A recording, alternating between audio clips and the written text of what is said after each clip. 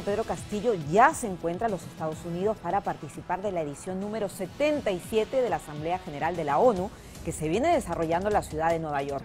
El mandatario llegó el último fin de semana acompañado de su esposa, la primera dama Lilia Paredes, además de una comitiva de ministros de Estado como el titular de Economía y Finanzas Kurt Burneo. Hoy el jefe de Estado expuso en la cumbre sobre la transformación de la educación. Vamos a escuchar parte de su intervención. Adelante. Somos conscientes que hemos perdido los aprendizajes y debemos recuperarlas con urgencia. El regreso a la escuela es fundamental. En el Perú hemos logrado la meta al 100% el regreso a la escuela en forma presencial.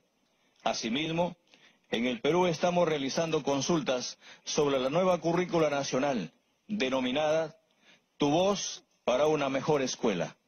El objetivo es contar con una currícula actualizada para el desarrollo de aprendizajes en un marco de valores que promuevan una nueva ciudadanía, con respeto a los derechos humanos, con respeto al medio ambiente y a la diversidad.